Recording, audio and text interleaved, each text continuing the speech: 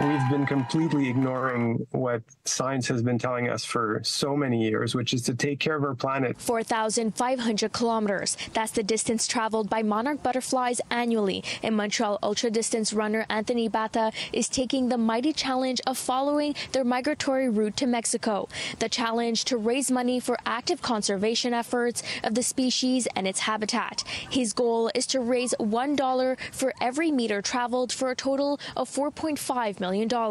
Our uh, beautiful Laurence uh, just turned 10, and uh, when she arrived, uh, my wife and I, as so many others, uh, just realized and started to question what we had just done, and and uh, and, and asking ourselves in what kind of wor- world we we put her in, and um, and since then, I've I've been looking for a way to to make change, take action uh, in a significant matter.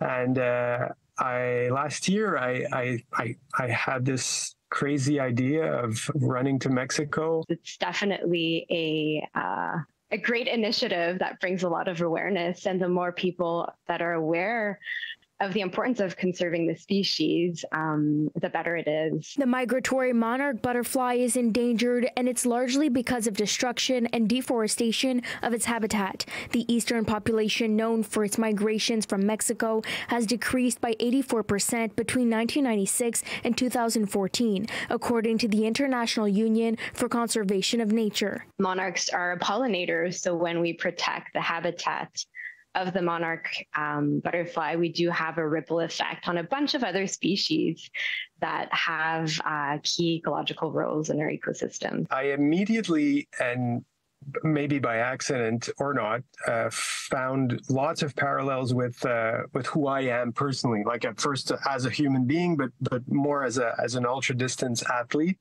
Like I said, first of all, they do this huge migration, which is something just completely out of this world. As Anthony sets off to run for three months, the International Monarch Monitoring Blitz begins. The annual event devoted to research for the preservation of the species is running from July 28th to August 6th. As of Saturday, he's helped raise $22,129 for monarch conservation. In Montreal, Brittany Henriques, City News.